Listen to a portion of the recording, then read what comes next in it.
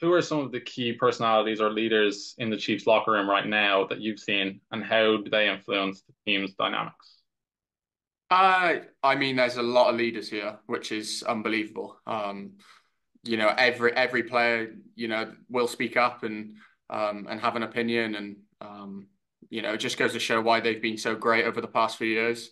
You know, there's a lot of leaders in this team. Um, obviously, you've got you've got Pat and Travis who who mainly lead it, but everyone within the team, you know, stands up and and has an opinion, and and, and that is that that is you know unbelievable because you don't want to have any anyone who's, who's shy and um, you want to have those those leaders that are going to you know push you on when time when times are tough. So um, yeah, there's a lot of leaders in this squad, and and that's that's that's definitely one of the reasons why they've been so great. Yeah, um, how would you compare the intensity and demands of strength and conditioning in rugby to that of the NFL? And is there a noticeable leap in the level of training required? Uh, so I'd say obviously rugby is a very it's very much it's a flowing game. Um, you know, the cardio is a lot it's a lot more. Um, this is more short and sharp bursts, um, which is which is probably more tiring to be honest with you. Um, it's very intense. You know, it's very stop start, but you've got to be, you know, extremely. Um, the, the way you got to put your body through certain movements and um, as I say, because it's so stop start, you have to burst. You know, it'll be like 10 second bursts and then it'll stop. 10 second burst stop.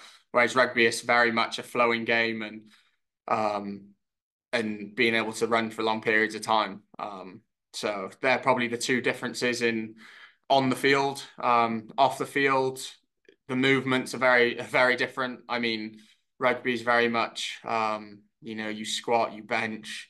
Um, whereas here's a lot of Olympic lifting um, and just like different movements because you need to be able to cut off cut off any angle. Um, especially for me as a running back, I need to cut off any angle very sharp as well. So I'd say, you know, in the gym, they're they're definitely movements that are completely different to rugby. Because um, rugby is very much of a flowing game and and you can take arcs, whereas in the in the NFL, you've got to be able to change direction very quick. So um, yeah, they're the two differences.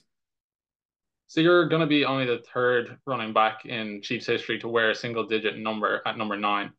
Did you know that that was a stat that was out there? And if so, were you aware of it?